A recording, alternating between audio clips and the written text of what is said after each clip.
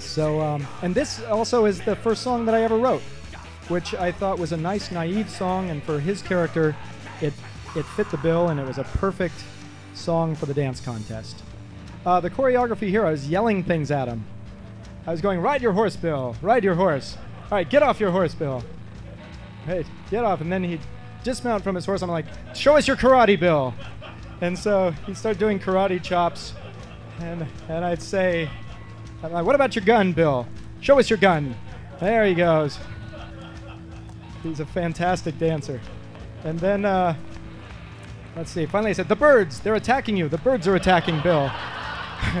so that was how the choreography worked there.